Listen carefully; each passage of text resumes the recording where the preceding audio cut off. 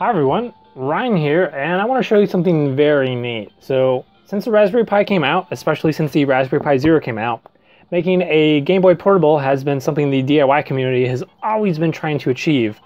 They've gotten really close, but this product by Retroflag is the GPI case, and well, it's the best thing on the market you can get to make a consoleized portable or Game Boy replica portable for your Raspberry Pi Zero or Raspberry Pi Zero W.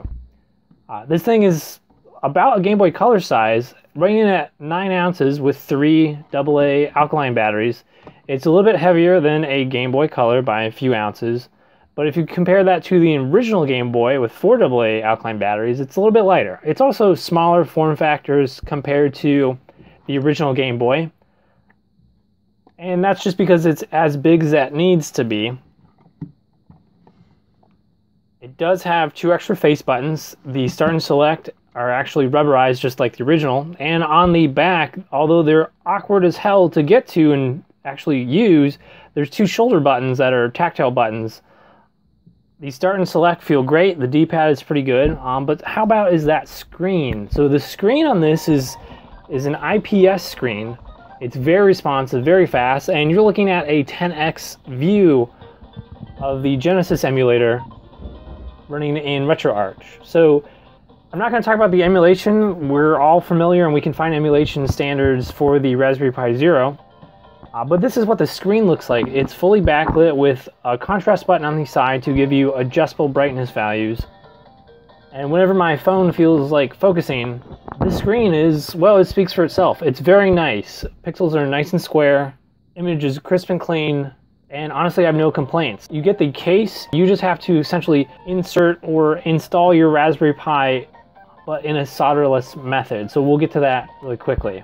I'll just let you enjoy the nice clear viewing of what this screen looks like because that's probably the biggest struggle is sourcing a screen, getting it to work, and having it look good in the final product. You get this nice play it loud stylized box and in the box is everything you need minus the Raspberry Pi and SD card. You also get this power cable too, since it is a power hungry device, which we'll look at a little bit further. Well, let's talk about how to assemble this thing. You will need a Raspberry Pi Zero, and I'm going to use a Raspberry Pi Zero W primarily because when we put this thing in the pseudo cartridge, we have no access to another HID USB port. So the wireless capabilities really help us load ROMs and so on. So the way this case works is you put the Raspberry Pi in this little cartridge and then that cartridge plugs in to the back of the GPI case. All the input output screen and data streams from the Raspberry Pi are actually transferred through this edge connector on the cartridge and they're pulled off the Raspberry Pi with these pogo pins hence the solderless assembly or solderless connection. So it's really neat. Um, even for $10, you don't have to commit your Raspberry Pi to essentially any install with this because, well, there's no soldered connection. In theory, you could have multiple cartridges with multiple configurations on them, but I don't see anything on, G on Retroflags' website to sell extra cartridges. Assembly starts with this ribbon cable connector that plugs into the power connection of the Raspberry Pi. Then you mount the Raspberry Pi with the included brass standoffs to the top face side of this cartridge, the side that has the artwork on it. Next, you'll put the Pogo Pin PCB face down so it's touching the Raspberry Pi GPIO headers.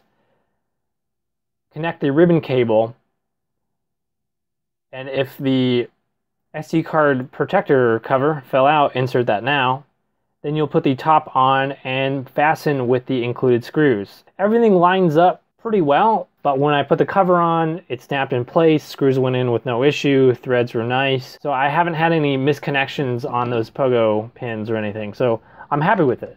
When you insert your SD card, or before that, we have a little bit of file prep to do, and I'm just going to briefly touch on that for the Raspberry Pi Zero W. Since again, we don't, we can't connect a keyboard to this, so it's has this Wi-Fi credential setup has to be done first. So the way you set up your SD card is go to retropie.org, download the retro, I'm sorry, download the Raspberry Pi Zero image, mount that to your Raspberry Pi, go to the RetroFlag website. Under support, you're going to download the GPI case zip, unzip this, and drag this folder to the root directory of your SD card with RetroPie on it.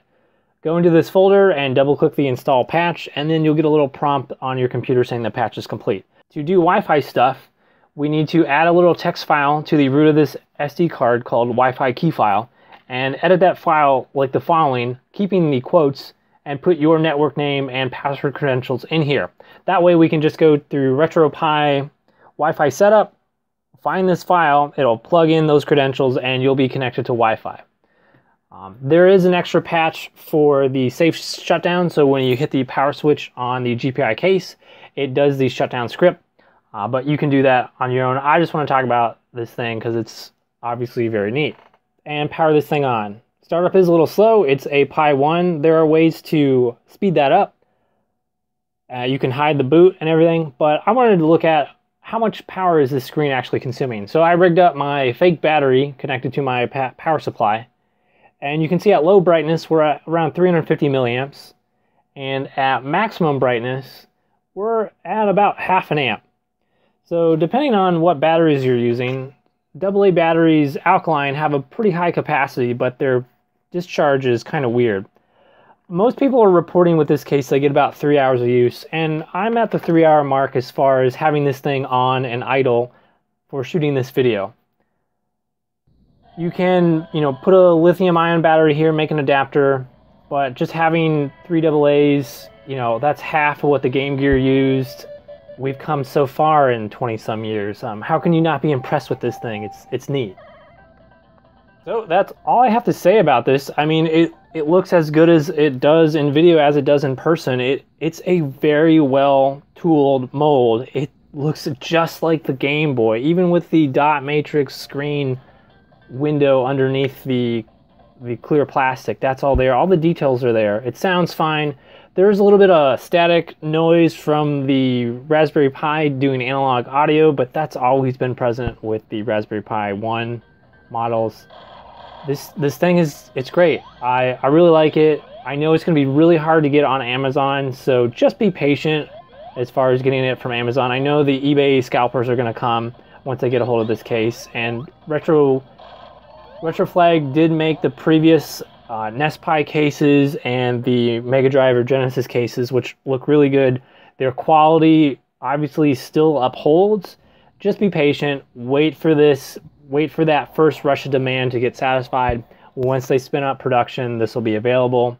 Uh, but I did just want to make people aware of it.